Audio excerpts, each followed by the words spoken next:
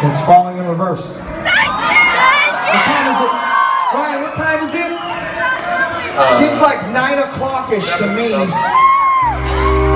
o'clock at the top of the spot and raining with friends again.